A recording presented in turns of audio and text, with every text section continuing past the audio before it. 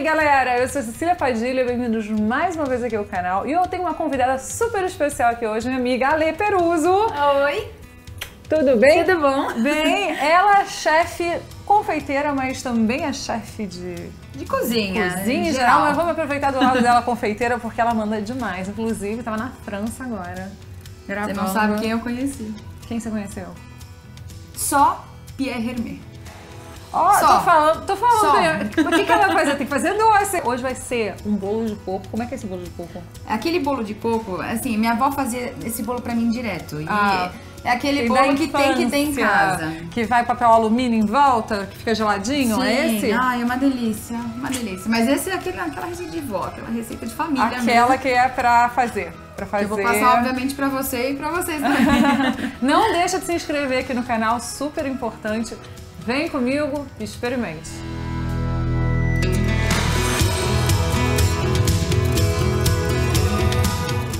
Como é que a gente começa a receita? A gente vai começar tradicionalmente ovo e açúcar.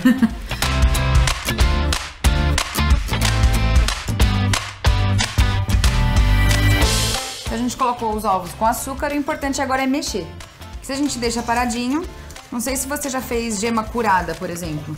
Ah, sim, aí vai ficando duro, né? Ela vai ficar dura e ela cozinha a gema, literalmente. Então, assim, O açúcar também cozinha? o açúcar cozinha também. Ah, é? Por isso que a Olha, gente nunca pode sabia. deixar paradinho.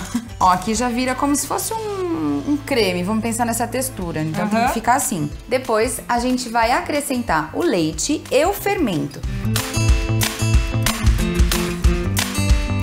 Aí a gente colocou o fermento e ele entra agora mesmo. Então, É, isso é interessante, que geralmente eu acabo colocando no final. final. Nesse bolo a gente coloca antes. coloca antes. Eu não sei, minha Bacana. avó que, que sempre Coisa falou que era assim.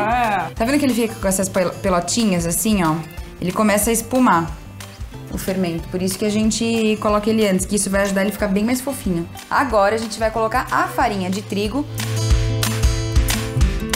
E a gente já vai colocar o amido também. Agora, por último, a gente vai colocar o coco ralado. Esse aqui é aquele que a gente É o de saquinho. É, esse o é o de saquinho e esse é o fresco que fica na geladeira. E a gente Isso. vai usar os dois. A gente vai usar os dois. Esse daqui pra cobertura e pra finalizar. Ah, entendi. E esse na Então hora de, esse de aqui é daqui a colocar. pouco é só. daqui a pouquinho.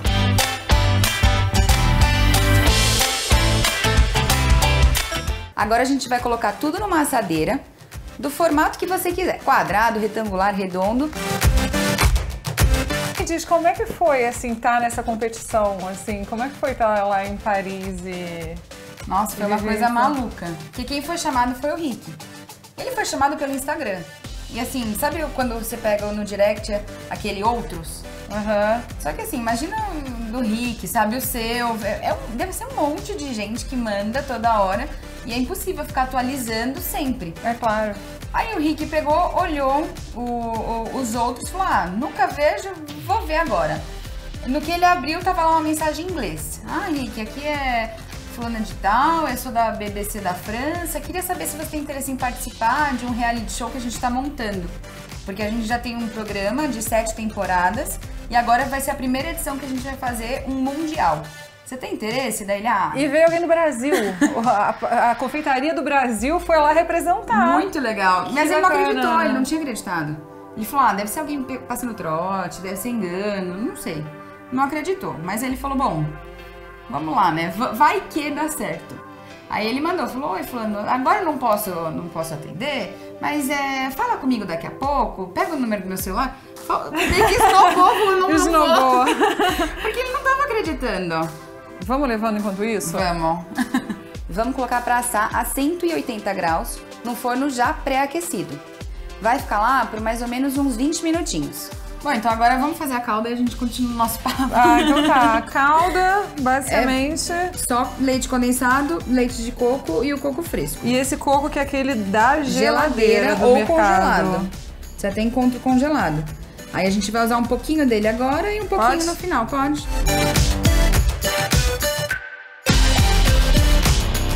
Calda, a gente vai misturar o leite condensado juntamente com o leite de coco.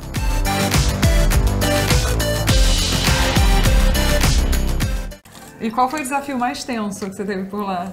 Ah, eu acho que o desafio mais tenso foi assim, não saber o que, que ia acontecer. É, você tá num país. É, É, eu entendo, porque eu já passei por isso. É. Esse negócio de você saber, você não saber o que vai fazer. Você chega É lá difícil. sem saber, pum, agora vai lá pro mercado, não sei o quê. Ai, gente. Eu passei isso no Batalha, que a gente também não sabia o que, que ia fazer. Mas nesse não, nesse já tava tudo separado. A gente mandava as receitas. Ah, então já e ele era. já é. Então- E eles já colocavam tudo. Acho que a atenção, então, deve ter sido encontrar com Pierre Hermé. Você trabalhar a sua cabeça pra você poder cozinhar depois de um momento como esse. Foi assim, porque Pierre Hermé, eu acho que pra quem faz confeitaria, pra quem ama esse mundo de confeitaria, Pierre Hermé é Deus. É, isso é assim. importante, porque não é todo mundo conhece Pierre Hermé. Pierre Hermé é um ícone da confeitaria mundial. Ele é francês e ele tem livros, ele tem, tipo, Lojas, lojas. na Champs-Élysées. É. E, e assim, ele é é arrasa. maravilhoso. Aí eu falava, ai, vou, quero fazer um curso com Pierre Hermé, quero fazer, quero fazer. Quase um ano e nada de eu conseguir fazer um curso com Pierre Hermé. Acabou que você que deu Aí curso acabou pra ele. e eu você, você cozinhou e ensinou como fazer pra Ai, foi muito viu? gostoso. Eles não conheciam o bolo de rolo, que o bolo de rolo é muito fininho. Aí a gente fez um monte de curso aqui no Brasil. A gente Ó, teve que uma legal. preparação assim de uns dois, três meses, preparando, fazendo curso, realmente querendo. Chegando lá pra vencer. Aí a gente fez o curso de, de bolo de rolo e a gente falou, vamos fazer sabores diferentes? Aí a gente perguntou se tinha pimenta biquinho. Ela falou, olha, não, não tem, a gente não conhece, porque a gente toda hora mantinha contato com o pessoal da produção. Aí a gente, ai, a gente quer fazer uma coisa super diferente. Você tem esse ingrediente? Não, esse ingrediente não tem. Aí a gente, vamos levar? Vamos. Aí a gente levou, e o medo da massa extraviada, alguma coisa assim, e a gente Nossa. não conseguia fazer a receita. Mas a gente levou e a gente fez um bolo de rolo de chocolate e o outro de limão.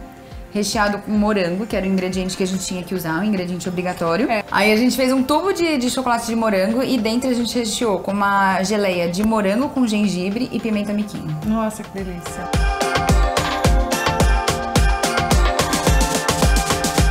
Assou, você pode espetar com um palitinho. Se você for abrir a porta do forno e ele ainda estiver mole, deixa ele lá. Se você abriu e viu que não mexeu, enfia um palitinho. Tá branquinho, mas não saiu sujo, pode tirar. Eu testo palito de todo bolo. Eu não gosto de fazer teste de palito, mas esse tem que fazer. Esse tem que fazer.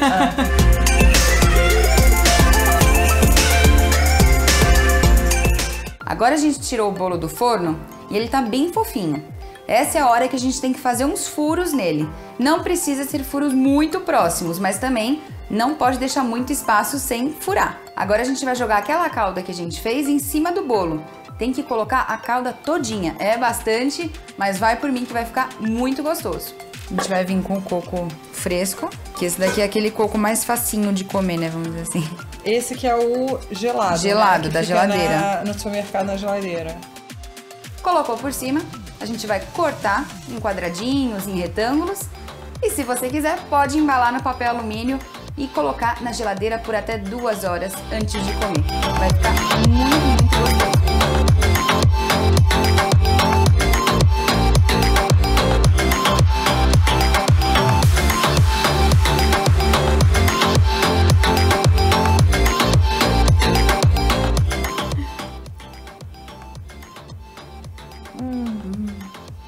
Sei que tá maravilhoso, maravilhoso. Experimente.